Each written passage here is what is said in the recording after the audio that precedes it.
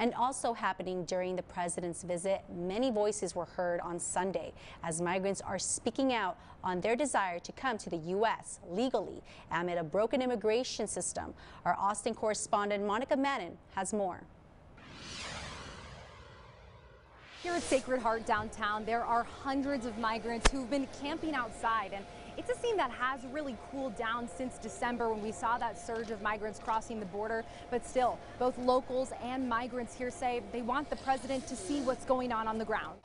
Touching down in El Paso, President Joe Biden greeted by local officials before touring a migrant processing center and the wall in his first trip to the border as president. Very well overdue. Some locals hesitantly welcoming the commander in chief. I hope he sees the issues we're having here in the border. Let him meet the people that are here, let him hear their stories. Not on the president's agenda, touring migrant camps. It's where we find Venezuelan migrants like John. We just need help. He admits he crossed illegally, but says his family would not survive if he stayed, and he wants to stay here the legal way. We just need an opportunity.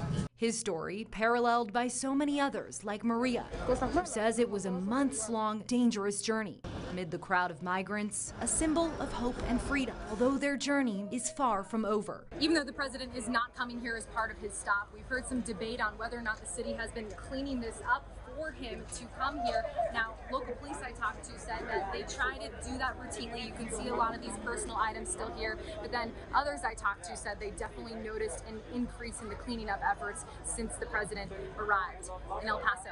Monica Madden, back to you.